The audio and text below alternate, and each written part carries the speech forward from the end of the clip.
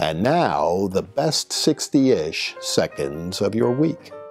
It's Thanksgiving week, and as some states get ready to certify their results, there are still legal battles in several battleground states based upon the returns of the 2020 elections. And regardless of how these turn out, the fights in the courts right now are not only the appropriate thing to do, they are important for a variety of reasons beyond the results of the 2020 presidential election because every vote that is improperly cast or improperly counted, whether by outright fraud or simply by administrative error, cancels out the vote of an honest citizen who cast his or her vote properly. And that needs to be addressed from now forward. Unfortunately, we're hearing more about lockdowns, shutdowns, etc. And we've always been asked by the left especially to quote unquote follow the science. So let me suggest to you that you check out the Barrington Declaration or the Great Barrington Declaration, which is a group of the top medical science people in this country and across the world who have signed on to a declaration about the inability of lockdowns and shutdowns to control the Wuhan flu pandemic.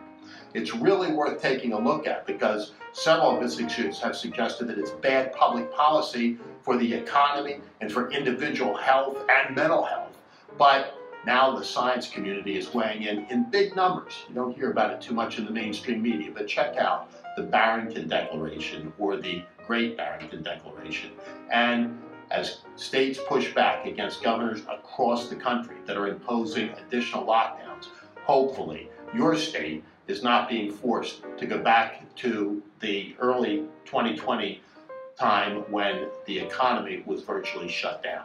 And of course, it is Thanksgiving week, a uniquely American holiday in many respects, dating back to 1621, where the Pilgrim founders took several days to celebrate a great harvest and a new friendship with some Native Americans in Massachusetts. But some say that Thanksgiving celebrations in America date back to the Jamestown plantation several years before that. But it took many, many years before it became part of the official fabric of our nation.